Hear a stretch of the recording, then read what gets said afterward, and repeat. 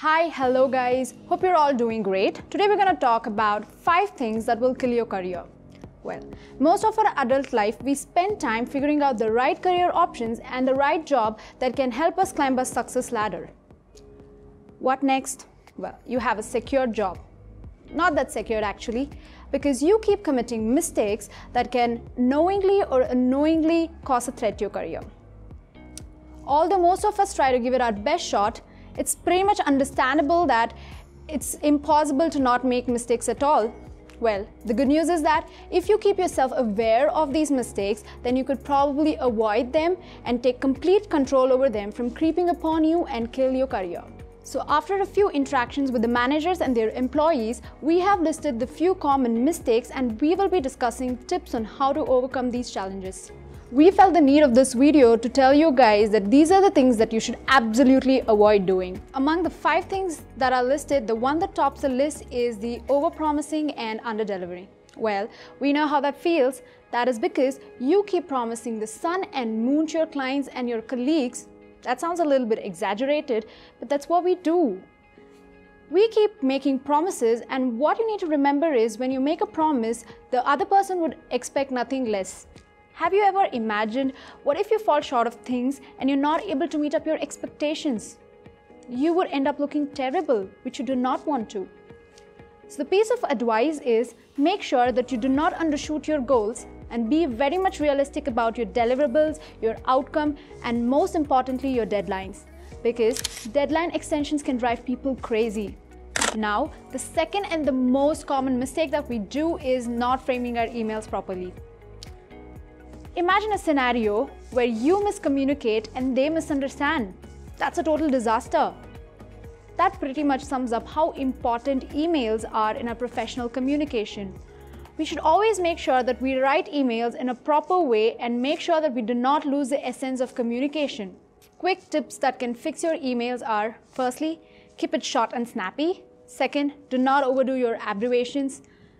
No decorative language no smileys, and most importantly, proofread your emails before you hit that send button.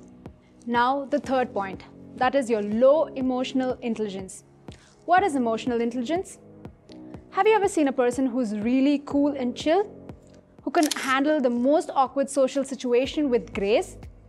Who's always concerned about others being uncomfortable and make sure that he feels at ease? Then the chances are high that you are seeing a person who possesses attributes to what psychologists refer to as emotional intelligence. Now, on the contrary, imagine yourself walking into the office with a poorly developed poker face where people can easily figure out that you're anxious or you're irritated or you're disturbed. Or maybe you give out an expression where people can figure out that you're irritated with your talks. What kind of impression are you leaving behind? We know that impression matters a lot, right?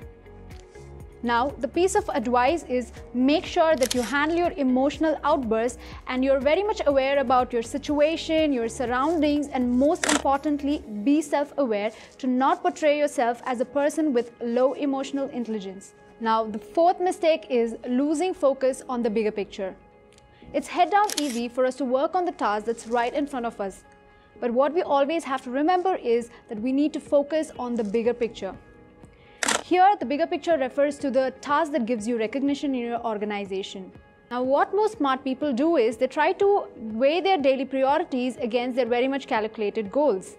It's not that they do not focus on the small tasks, but they just try to structure their routine so that they do not face any hurdles to prove their ultimate goal. Now, this is very much applicable here. Ultimately, we just want to tell you that the bigger picture is everything, and if you lose focus on that, everything else will suffer. Now, the last but not the least is getting too comfortable with your job. If you stick to one job for too long, you enter your comfort zone and you develop the fear of change. You need to remember that when your employer has hired you, he has hired you out of certain expectations. And if you're not able to meet those expectations, then you are a deal breaker. Now, what we're trying to tell you is not to move to a new job or shift your field. We're simply trying to tell you that do your same tasks in a more interesting way and more challenging way. Always be on your toes for learning and welcome new opportunities. Then you will start seeing yourself in a better way out of blue. So, to bring it all together, most people are under the assumption that only a big misstep in their career can have a bad impact, but usually it's not that dramatic. So, practice the points that we have discussed in this video and let us know how it changed your career in the comment section below. We would love to hear it from you guys. So, thanks for watching. For more such videos, please subscribe to our channel.